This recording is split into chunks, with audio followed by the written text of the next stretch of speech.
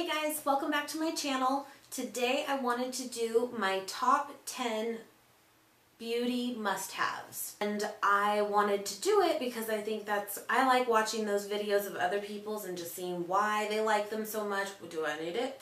And um, I thought it would be really, really easy. And I actually, I even asked my best friend, I was like, what are yours? And um, I do have a list, I do. I'm not going to say that it could never change, but for now, that is definitely my must-haves. So let me show you. What is this? What, what, what is this? What? Okay, number one, and probably is number one, this was a no-brainer. This is the first thing, and it's dirty right now, but um, the Beauty Blender. This thing came out, gosh, I don't know, two, three years ago maybe. Mm, game changer. Like, this thing is amazing. I love it. And I even got my best friend to, I gave her one, and I was like, just try it. Just try it. Maybe it's not a game changer for you, but I think you'll like it. And she did. And it's, uh, and she's not even, mm, you know, she's not even into makeup like I am and that's okay. Maybe people shouldn't be a little sick. Now what I like to do with it is I like to get it wet first. Right now it's dry, but I do, I, I put it underwater, kind of do like the stress ball type thing with it, make sure it's got, it's full, and then wring it out and do it as you would. You do a concealer, you could do foundation with it, um, touch up later with it. I love this thing. What's great about it is that if you put on too much concealer, too much foundation, we, we, we do that, and it will really pick up the excess product and still apply it very well. It's kind of that almost airbrush feel, like that airbrush look when you're done. Love it. Love it. Next product is one that I've actually already talked about a few times and I haven't even put that many videos up is the Kat Von D Trooper eyeliner. And I do uh, this is one of those where like it came to my mind first but I mean I could see it changing potentially down the road. It is eyeliner but um, this little thing is almost like I call it like a sharpie pin and I have a new one still in the package because I just finished my other one I really like it. I, it's kind of like a, a, it's like a marker and it's very, very black and it's, it goes on so smooth. So for me, I do not have a steady hand. I don't anticipate myself ever having a steady hand. So this thing works really well for me. I'm wearing it today. Um, love it. Love it, love it, love it. Next item was also kind of easy for me the MAC Pro Longwear Paint Pot in Painterly. This is an eyeshadow base and it to me there's good ones out there for sure but tried and true. Like this one works the best in my opinion and I I love it. They have other colors too. I don't even have those ones. I would totally add them but Painterly I think it's just perfect. It's very much that just skin tone of me and I love it. Next item is fairly new and it's already on the must-have list and that is the Shade and Light Contour Kit from Kat Von D. And I love this thing. Like, I love it. It has every shade that you need to contour. I love using this middle powder right here um, to set my under eye. I think it works really well. It has a yellow tone, which at first I was like, why do people do that? Like I don't, I don't get it. And then I did it, and then I got it. And that's what I've used since. Yeah. But love it. Love the shades. It, it's, love it. It's more of, I think, a cooler tone shades down here. A lot of people don't like that. So, I mean, most, this is like a favorite from many, many people, but, um, yeah, it works really well.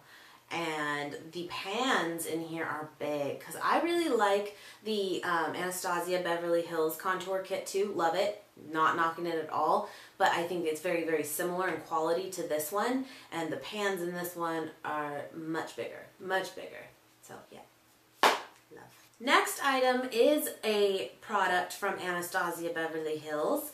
And again, I think this is kind of a fan favorite to many people out there, and it is the Brow Wiz. And it's a little eyebrow pencil. One side has a little spoolie, see that or not, and the other side, of course, is the pencil. And I'm wearing that today, and I've been kind of on a kick recently of just doing powders in my brows, just like very natural. But at the end of the day, too, I still go back to this. It's the simplest thing to use, in my opinion. I I have it in dark brown, in case anyone wanted to know. But I just, I like to really like define my brow with it. It's simple. It's, and you know, why is it so much better than another brand pencil out there, brown pencil? And I don't know, but it's, it's waxy, a little waxy, I guess but in a good way and it just has a very like to me a very natural look and I really like that. Um, so yeah I've gone through quite a few of these. Thanks babe. Next item is Benefits POREfessional. I feel like everybody's heard of this now I've used a lot of it's a face primer if you have not heard of it I feel like everyone has maybe tried this at some point. Um, and I have really yet to hear any like bad reviews on it. It's pretty amazing. Um, it's not going to be one though really that's going to give you like a, um, a dewy complexion. For me, I like that. I'm very oily skinned as it is and this really helps it. But other people do like that look and so I, I wouldn't necessarily recommend it if that is what you like.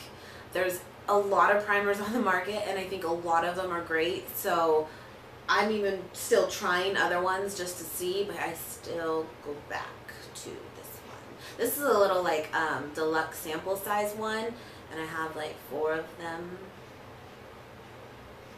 The next item is actually something that I don't have in its original packaging, how it comes when you just purchase it by itself, and that is the uh, Too Faced Chocolate Soleil Bronzer. Been around a while, and I think it is the best bronzer out there for contouring. Um, no shimmer in it, and it smells really good. It smells like hot chocolate. Because mm. it's actually made with cocoa powder extract in it, and I love it. But what I do have is I have recently gotten the Little Black Book of Bronzers. I feel like Vanna White. And this has multiple in it. And oh oh mm, makes me hungry. Milk chocolate soleil is the top middle one here. I use them all. I like them but this one is definitely my favorite. I think it is great. I stays on all day you can use it as just a regular bronzer you can use it to do a really defined contour contour your nose, whatever, whatever you want to do. And I love this thing. I this I believe is still out for sale. Um, yeah, I would recommend it. Love it. I have another palette that I got over Christmas. That was the Everything Nice palette. And that also had a pan. It had like eyeshadows and then um, a bronzer and a blush. And the bronzer was that, that as well. So I'm I technically do have a couple, even though I don't have the original. My next item is not something that, the one that I have is not necessarily my favorite. I, I mean, I love it, but I, this is just a beauty must-have in my collection is translucent powder. And it doesn't necessarily have to be this one. Um, I do really like it though. It is the NARS translucent pressed powder. I actually do, I think, prefer it though in the loose powder, like all over, just take a brush all over um, can be a little messy, but it's translucent. e.l.f. has one that I've used and it's not bad. I like it. But yeah, I have to have it. Like I said, I'm very oily skinned. It doesn't take long. I just did my makeup like an hour ago and give it like five more minutes. So I need this. I have one in my bag. I have one just here. Um, sometimes I have them throughout the house. Yeah. So my next item is a blending brush for eyeshadow. And this one is an IT Cosmetics blending brush. I love it. Um, I will say I don't have a ton of brushes that are super high end. Um, I mean, I guess this technically is, but um, I haven't really put a lot of money into my brushes yet. Thanks, honey. So my next item is pretty random, and I actually, I'm going to cheat. I'm to cheat. Hold on. So my last item, I I couldn't decide between two other things. I'm to do 11. And one being a mascara. I'm like, how do I not have a mascara on my list? It has to be on my list. But I don't necessarily have one that is like my holy grail one. I love the Better Than Sex Too Faced mascara. I think anyone that's used it loves it. But I will say, I feel like it kind of flakes on me throughout the day. Um, it's not waterproof, which actually I do prefer. I don't really like waterproof mascara. It, it it, when I want it to come off, I want it off, and it's I find it really hard to remove. But anyway, um, so I don't necessarily have a favorite mascara, but I really have been enjoying the Makeup Forever one. Um, I think it's like Smoky, yeah, Smoky Extravagant is what it's called. Um, I really like it. It's kind of a interesting wand to it. Let me see, I have one open here yeah, it kind of has an interesting wand to it, different than other ones that I've seen. Um, I don't know if you can like tell, but it kind of like starts big and then goes down. I don't know. I was like, I don't know if I like that, and I liked it. But um, yeah, so definitely a mascara because even if you don't do your makeup at all, like I just think it's you could just pop on some mascara and you look way more put together. So I'd have to have one in my collection, definitely.